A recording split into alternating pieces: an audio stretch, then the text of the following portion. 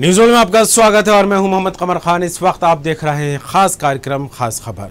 छत्तीसगढ़ में कांग्रेस सरकार के मुख्यमंत्री भूपेश बघेल ने पिछड़ी जातियों के लिए आरक्षण को बढ़ाने की घोषणा के बड़ा, घोषणा करके बड़ा दाव चला। इसके बाद ये माना जाने लगा कि पाँच साल चलने वाली कांग्रेस सरकार को कहीं ना कहीं फ़ायदा होगा।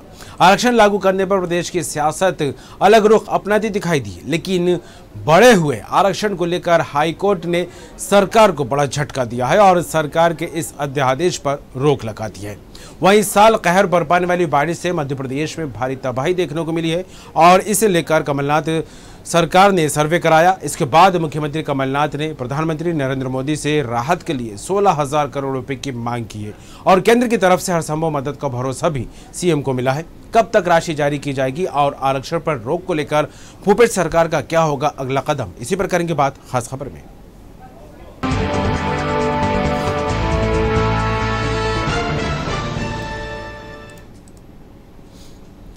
छत्तीसगढ़ की भूपेश सरकार ने पिछड़ा वर्ग और सामान्य गरीबों को आरक्षण देकर भले ही जमकर वाहवाही बटोरी हो, लेकिन इस बीच राज्य की भूपेश सरकार के बढ़े हुए आरक्षण देने के फैसले को बड़ा झटका लगा है।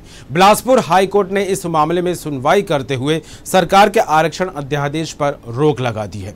हाईकोर्ट के मुख्य न्यायाधीश पी आर रामचंद्र मेनन की युगल पीठ ने सुनवाई करते हुए ये रोक लगाई है। आपको बता दें, पिछड़ा वर्ग को सत्ताईस फ़ीसदी और सामान्य गरीबों को दस फ़ीसदी आरक्षण के प्राव, प्रावधान के बाद छत्तीसगढ़ में आरक्षण का आंकड़ा बयासी फ़ीसदी पर पहुँच गया। हाईकोर्ट में चार अलग अलग याचिकाओं पर सुनवाई चल रही थी, जिनमें से ज़्यादातर बयासी फ़ीसदी आरक्षण के खिलाफ थी।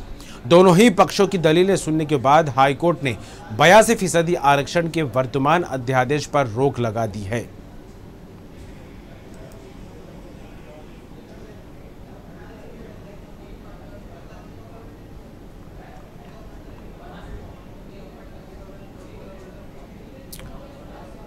आपको बता दें और हमारे साथ जुड़ गए हैं छत्तीसगढ़ स्टेट हेड नितिन चौबे। नितिन, बात की जाए, एक बड़ा झटका भूपेश सरकार को लगा है बिलासपुर हाईकोर्ट की तरफ़ से, जिस तरह से आरक्षण को लेकर एक घमासान भी मचता दिखाई दिया था छत्तीसगढ़ की सियासत में, और इस बड़े फैसले को लेकर जिस तरह से हाईकोर्ट ने रोक लगाई है, क्या कहा जाए इसे लेकर? देखिए, बात करेंगे अगर जो बयासी परसेंट आरक्षण हुआ था, भूपेश सरकार ने इसका बड़ा ऐलान किया था। इसको लेके ओबीसी समाज ने उनका अभिनंदन भी किया था। इसको हाईकोर्ट में चार अलग अलग याचिका लगते हुए थोड़ा याचिका करता है। उनको एक बड़ी जीत हासिल हुई है, इससे राज्य सरकार को एक बड़ा झटका लगा है। हालाँकि मुख्यमंत्री भूपेश बघेल ने धमतरी में अपने वक्तव्य के दौरान ये कहा कि माननीय न्यायालय ने 69 प्रतिशत आरक्षण स्वीकार कर लिया है। अन्य जो बचा ओबीसी के लिए आरक्षण को अभी स्वीकार नहीं किया है हम उसके लिए सतत अपनी लड़ाई जारी रखेंगे और प्रयास करेंगे कि अन्य वर्ग को भी इसको ओबीसी वर्ग को भी इसका आरक्षण का फ़ायदा हम दिला सके। देखना जाए तो एक बहुत ही बड़ा चुनाव के पहले जिस तरह से वोट बैंक को ओबीसी की वोट बैंक को इनकेश करने का प्रयास किया था मुख्यमंत्री भूपेश बघेल ने, उसमें एक बड़ा झटका माना जा रहा है। हाई हाई कोर्ट में ये जो फैसला दिया है, हालाँकि मुख्यमंत्री कहेंगे कि इसको लेकर हम फिर वकीलों से चर्चा करेंगे और इसके बाद उसमें कोर्ट में पुनः इस पर याचिका दायर करेंगे। नितिन, जिस तरह देखा जाए, क्योंकि बयासी फ़ीसदी आरक्षण को लेकर संविधान के मुताबिक देखा जाए तो कहा जा रहा है कि प्रावधानों को फॉलो नहीं किया गया है और इसको लेकर जो गाइडलाइन का जो पालन नहीं किया गया, इसको लेकर हाईकोर्ट ने इस तरह का आदेश दिया है। तो क्या लगता है, जब ये आरक्षण लागू किए जाने की बात सरकार की तरफ़ से आई थी तो इन बिंदुओं पर कोई गौर फ़िक्र नहीं किया गया? देखिए कुछ मुद्दे कुछ टेक्निकल पॉइंट रहते थे जिस पर की जिसको लेकर की याचिकाकर्ता कुणाल शुक्ला का कहना है कि उन नियम कायदों को साथ में रखकर केवल वोट बैंक बटोरने की दृष्टिकोण से सरकार ने यह फैसला लिया है। इसमें सामान्य वर्ग को किसी तरह का कोई ध्यान नहीं रखा गया था लेकिन आर्थिक रूप से पिछड़े हुए को स्वीकार किया है माननीय न्यायालय ने जो 69 परसेंट है उसमें। तो कुछ इन टेक्निकल पॉइंट के बिंदुओं पर ही उन बिंदुओं के भी विस्तृत चर्चा हमारे पास नहीं आ पाई है जिसको लेकर हाईकोर्ट का जो फैसला आया है। हम उस पर भी अभी चर्चा करेंगे। लेकिन जो 69 परसेंट है उसमें जो स्वीकार किया है हाईकोर्ट ने एससी और आर्थिक रूप से पिछड़े वर्ग के लिए खासकर स्वीकारोक्ति दी है। केवल इसमें जो नुकसान लग रहा है वो ओबीसी वर्ग को लेके लग रहा है। जी। बिल्कुल, और जिस तरह सुप्रीम कोर्ट के अध्यादेश या उसके नियमों की की बात की जाए तो उसमें साफ़ कहा गया था कि 50 फ़ीसदी से ज़्यादा 50 फ़ीसदी से ज़्यादा आरक्षण नहीं किया जा सकता है। लेकिन बावजूद इसके देखा जाए तो छत्तीसगढ़ ऐसा राज्य रहा जहाँ बयासी फ़ीसदी तक आरक्षण पहुँच गया। तो ऐसे में अगर बात की जाए, कानूनी को लेकर या संविधान के मुताबिक बात की जाए तो क्या लगता है, भूपेश सरकार इसको लेकर कोई बदलाव कर सकती है? जी निश्चित तौर पे चूँकि अभी ये हाईकोर्ट का फैसला है तो बदलाव के कई बिंदुओं पर मुख्यमंत्री चूँकि आज दौरे पे हैं पदयात्रा पे थे लौटने के बाद ये माना जा रहा है कि वो ब्यूरोक्रेट से अभी तमाम आला अधिकारियों से इस पर चर्चा करके वापस से इसको सुप्रीम कोर्ट में किस तरह से चैलेंज दिया जा सकता है इन विषयों पे बात करके इसको लागू करने का प्रयास ज़रूर छत्तीसगढ़ में करेंगे। क्योंकि इसको लागू करते ही छत्तीसगढ़ में ओबीसी और अन्य पिछड़े वर्गों में जिस हिसाब से हर्षोल्लास था तो एक बड़े मायूसी की लहर छाएगी निश्चित तौर पे यहाँ पर और वो माना जाएगा इसको लेकर भूपेश काफ़ी संजीदा है और उन्होंने अपने बयान में इसकी स्वीकारोक्ति भी की है कि सरकार न्यायालय में अपना पक्ष ज़रूर रखे। बिल्कुल एस सी को लेकर बात की जाए तो तेरह तेरह फ़ीसदी आरक्षण छत्तीसगढ़ में मिल रहा था और चौदह से बढ़ाकर सत्ताईस फ़ीसदी ओबीसी को किया गया तो ऐसे में आंकड़ा लगातार बढ़ा और फिर अन्य को दस प्रतिशत और आरक्षण दिया गया। तो जिस तरह से टोटल देखा जाए इन आंकड़ों को लेकर तो बयासी फ़ीसदी आरक्षण पहुँच गया था। तो क्या लगता है अगर बदलाव करती है भूपेश सरकार तो जिन कैटेगरी में आरक्षण को बांटा गया उनमें भी कोई ना कोई बदलाव देखने को मिल सकता है? जी बदलाव देखने को मिल सकता है। हालाँकि भूपेश सरकार ने ये जो फैसला किया था चौदह से बढ़ा के सत्ताईस प्रतिशत जो आरक्षण किया था उन्होंने मुख्य बिंदु इसके ये रखे थे जनसंख्या के हिसाब से। जो जिस राज्य की जो जनसंख्या है उस हिसाब से आरक्षण का जो प्रतिशत है उस वर्ग को रखा जाए। तो ओबीसी के वर्ग को जो चौदह से सत्ताईस परसेंट उन्होंने वोट माफ़ कीजिएगा जो आरक्षण प्रतिशत बढ़ाया था वो जनसंख्या के आधार पर किया था और अपने सम्मान समारोह में खुले तौर पे उन्होंने कहा था कि 2021 के सर्वेक्षण में अगर ये जनसंख्या और बढ़कर आती है तो निश्चित तौर पे आरक्षण को उसी हिसाब से लागू किया जाएगा। बिल्कुल, सरकार की तरफ़ से यह बात भी निकलकर सामने आ रही है। नितिन, के जो अनुसूचित जाति को तेरह फ़ीसदी आरक्षण दिया गया उसने, उसको जो है कोर्ट ने स्वीकार कर लिया और दस प्रतिशत सामान्य वर्ग को भी कोर्ट से स्वीकार कर रही है। लेकिन तेरह प्रतिशत, चौदह से सत्ताईस फ़ीसदी किया गया, ओबीसी को लेकर तेरह प्रतिशत की बढ़ोतरी की गई। तो इसके लिए कहा जा रहा है कि हम लोगों की लड़ाई लड़ने पड़ेगी और हमारा फैसला कहीं गलत नहीं है। हम माननीय न्यायालय के सामने सभी साक्ष्य पेश करेंगे। सरकार की तरफ़ से यह वक्तव्य भी निकलकर सामने आ रहा है। तो क्या लगता है इसको लेकर आगामी आगामी कदम क्या कुछ उठा सकती है भूपेश सरकार? देखिए हालाँकि मंत्रिमंडल और सदन से जो माफ़ कीजिएगा जो सरकार से जो बात निकल कर आई है उसमें तो ये निश्चित तौर पे कि इस आरक्षण को लेकर का, सरकार काफ़ी संजीदा है और जनसंख्या के जो आंकड़ा आंकड़े निकाल कर जिस हिसाब से सरकार ने सत्ताईस प्रतिशत आरक्षण लागू किया था इस मुख्य मुद्दा जो याचिकाकर्ता का था वो इन्हीं बिंदुओं पर था। अन्य आर्थिक रूप से पिछड़ा वर्ग या अन्य किसी वर्ग के लिए कोई याचिका उन्होंने दायर नहीं की थी। अचानक 14 से 27 परसेंट बनने के बाद जो बयासी परसेंट आरक्षण हो गया था इसको लेकर ही याचिकाकर्ता कुणाल शुक्ला लंबी लड़ाई लड़ रहे थे और उनका जो मुख्य बिंदु था इसके ऊपर स्टे लाने का वो इस, इसी बढ़े हुए पॉइंट की ओर था जिससे कि ये बढ़कर एटी टू परसेंट हो गया था। और इसमें उनको अभी हालाँकि काफ़ी राहत मिली है माननीय हाईकोर्ट। बात होगी भूपेश सरकार जिस तरह से गंभीर होती नज़र आ रही है और आगामी कदम उठाने की बात करती नज़र आ रही है। क्या कुछ कदम होगा, क्या कुछ बदलाव देखने को मिल सकते हैं? आपका बहुत बहुत शुक्रिया।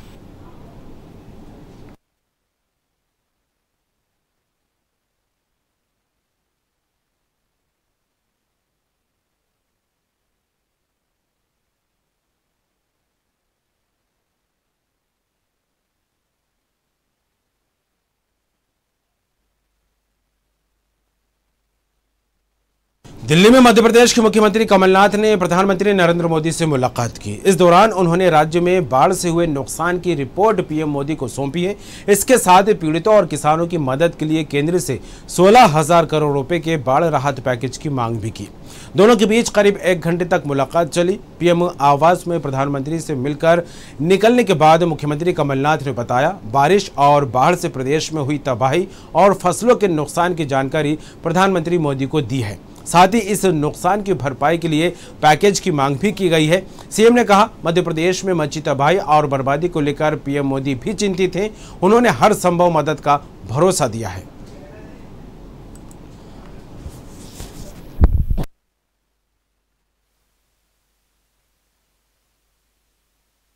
प्रदेश में जो अतिवृष्टि हुई है, इसमें जो सोलह हज़ार करोड़ रुपए का नुकसान पूरे प्रदेश में हुआ है, किसानों को हुआ है फ़सलों को हुआ है, मकान को हुआ है, सड़कों को हुआ है। मैंने केंद्र की सहायता के लिए उनसे मांग करी है और उन्होंने कहा है कि वे स्थित हैं क्योंकि उत्पादन सोयाबीन का बहुत घटा है, मक्का का बहुत घट जाएगा, कपास का घट जाएगा, उरड़ का घट जाएगा ये केवल मध्य प्रदेश की समस्या नहीं है, पूरे देश में ये समस्या उत्पन्न होने वाली है। आपको बता दें प्रधानमंत्री नरेंद्र मोदी साथ आज मुख्यमंत्री कमलनाथ ने मुलाकात की है और बाढ़ से जिस तरह से नुकसान हुआ उसको लेकर बात की है। और अब सीधे बात करेंगे हमारे साथ जुड़ गए फ़ोन लाइन पर, मध्य प्रदेश स्टेट हेड राजेश सक्सेना। राजीव, बात की जाए, पीएम मोदी से कमलनाथ ने जिस तरह से आज मुलाकात की है और जो बाढ़ प- को बाढ़ के बाद जो प्रदेश में नुकसान हुआ है, उसकी रिपोर्ट आज प्रधानमंत्री मोदी को सौंपी और सोलह हज़ार करोड़ रुपये की मांग की है। क्या कहें? हाँ बिल्कुल निश्चित तौर पर कमर जिस तरह से अगर देखा जाए आज मुख्यमंत्री कमलनाथ की पीएम नरेंद्र मोदी की तकरीबन साढ़े ग्यारह के बजे के आसपास। मुलाकात हुई एक घंटे दोनों के बीच में चर्चा हुई। जिस तरह से बारिश के बाद बारिश और बाढ़ से नुकसान हुआ है प्रदेश को उसको लेकर एक पूरी रिपोर्ट मुख्यमंत्री कमलनाथ ने पीएम नरेंद्र मोदी के सामने प्रस्तुत की और जो। नुकसान हुआ है अलग अलग स्तरों पर चाहे हम किसानों की फ़सलों का नुकसान हो चाहे जान माल का नुकसान हो या अन्य तरह के बाढ़ बाढ़ और बारिश से जो नुकसान है वो एक रिपोर्ट पीएम के सामने सीएम कमलनाथ ने रखी और उन्होंने जो इस आपदा के लिए केंद्र सरकार से मदद की मांग की है। जिस तरह से सीएम कमलनाथ ने कहा है कि तकरीबन सोलह हज़ार करोड़ रुपए का जो नुकसान है उसकी भरपाई के लिए केंद्र सरकार से मदद मांगी है।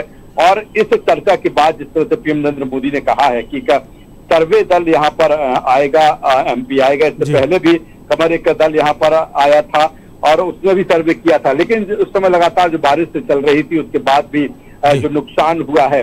तो एक बार फिर एक विशेष दल वहाँ से जाँच दल यहाँ पर आएगा। कहाँ कहाँ किस किस सेक्टर में क्या नुकसान हुआ है ये देखेगा और राज्य सरकार ने जिस तरह से मांग की है केंद्र सरकार से सोलह हज़ार करोड़ रुपए की उसमें ये देखा जाएगा कि वाकई वास्तविक की स्थिति क्या है? हालाँकि जिस तरह से सीएम कमलनाथ ने कहा है कि अलग अलग चाहे वो सोयाबीन हो या अन्य फ़सलें हो या अन्य तरह का नुकसान जो राज्य सरकार को हुआ है उसको लेकर जो सारी रिपोर्ट थी तो कुल मिलाकर एक लाइन और भी उसमें अहम थी कमर जो आज सीएम कमलनाथ ने कही है। उनका कहना था कि उन्होंने पूरी गंभीरता के साथ नरेंद्र मोदी ने पूरी गंभीरता के साथ उनकी रिपोर्ट को देखा है सुना है और एक आश्वासन एक भरोसा दिया है पूरी मदद करने के लिए। जी कमल बिल्कुल प्रधानमंत्री से प्रदेश में बारिश के कारण हुई राज्य भारी तबाही को लेकर गंभीर आपदा की श्रेणी में रखने की मांग भी कमलनाथ ने पीएम मोदी से की, और ऐसे में सोलह हज़ार करोड़ रुपए की राहत राशि की मांग तो की है, लेकिन जिस तरह से कमलनाथ ने कहा है कि प्रधानमंत्री खुद इस नुकसान को लेकर काफ़ी गंभीर होते नज़र आ रहे हैं, और हर संभव मदद का भरोसा भी दिया है। तो ऐसे में क्या लगता है, कोई खबर निकलकर सामने आई इससे संबंधित की कब तक ये राशि जो है जारी कर दी जाएगी? हाँ देखिए कमल इसमें एक सबसे अहम बात यही है कि एक अब वहाँ से केंद्रीय जाँच दल यहाँ पर आएगा अलग अलग क्षेत्रों का जिस तरह से रिपोर्ट राज्य सरकार द्वारा पेश की गई है पीएम नरेंद्र मोदी के सामने उन सेक्टरों में कहाँ कहाँ तरह का नुकसान हुआ है किसानों से वो जो केंद्रीय जाँच दल बात पे का अन्य तरह का जो नुकसान है रिपोर्ट में कही गई है वो देखिएगा जी।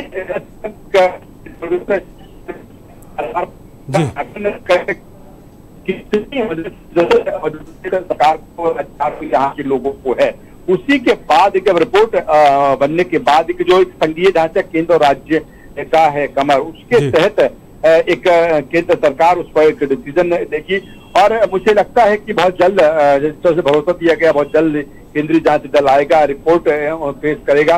और उसके बाद एक बार में तो नहीं मुझे लगता है कि दो इससे तीन चरणों में अलग अलग जब आकलन के बाद जो राशि है जिसकी मांग राज्य सरकार कर रही है वो केंद्र सरकार उसको जारी करेगी। अलग अलग सेक्टर्स के आधार पर उसमें एक वरीयता देखी जाएगी कि फौरी तौर पर आखिर ज़रूरत कहाँ पर सबसे ज़्यादा है। जी। बिल्कुल अब देखने वाली बात होगी राहत राशि का इंतज़ार है। हालाँकि गंभीरता दिखाई है प्रधानमंत्री नरेंद्र मोदी ने तमाम बात के लिए आपका बहुत बहुत शुक्रिया। राजीव तो देखा जाए मध्य प्रदेश के मुख्यमंत्री कमलनाथ दिल्ली पहुँचे और प्रधानमंत्री नरेंद्र मोदी से मुलाकात की और जिस तरह से भारी बारिश के चलते प्रदेश में तबाही मची है, बाढ़ जैसे हालात बने और इससे जिस तरह का नुकसान हुआ है, इसको लेकर सोलह हज़ार करोड़ रुपए के राहत पैकेज की मांग की है और पीएम मोदी ने हर संभव मदद का भरोसा भी दिया है। और हालाँकि खुद मुख्यमंत्री कमलनाथ ने इस बात को लेकर कहा है कि प्रधानमंत्री नरेंद्र मोदी इस नुकसान को लेकर काफ़ी गंभीर हैं और हर संभव मदद की बात कहते नज़र आ रहे हैं। और अतिवृष्टि से आपको बता दें, कमलनाथ ने कहा है कि सोयाबीन, कपास, उड़द और मक्का की फ़सलें बर्बाद हुई हैं।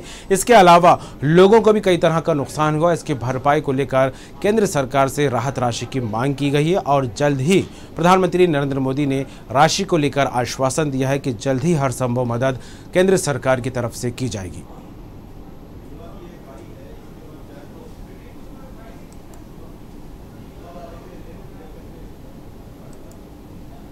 और इसी के साथ खास खबर में फ़िलहाल इतना ही। दीजिए इजाज़त, खबरों का सिलसिला जारी। देखते रहिए न्यूज़ वन।